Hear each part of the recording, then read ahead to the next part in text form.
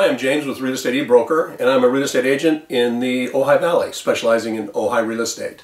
Uh, today's topic is going to be about inflation and why buying real estate is a good hedge on inflation. Um, inflation, basically defined, is um, an increase in price offset by the decrease in the value of money. Uh, for example, you buy a popsicle today for a dollar and a year from now, chances are that popsicle is going to cost you a dollar five, which means your dollar today is going to be worth 95 cents a year from now.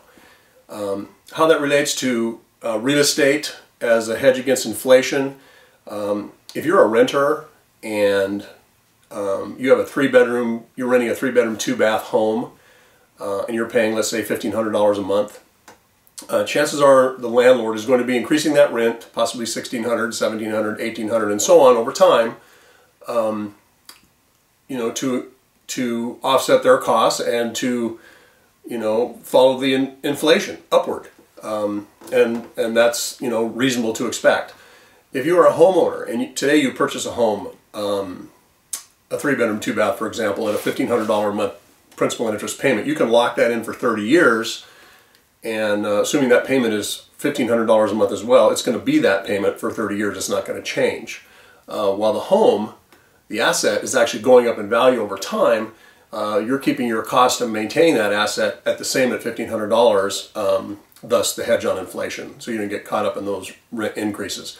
You are going to have property tax increases over time um, and insurance and so on. You know, those are relatively minimal um, in the big scheme of things. So, you know, real estate um, being one of the, you know, smartest investments out there as far as hedges on inflation. There's other ones, you know, gold, etc.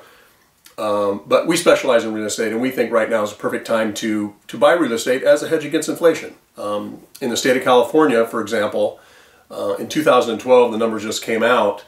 The median price of a home in the state of California went up 26 percent uh, year over year.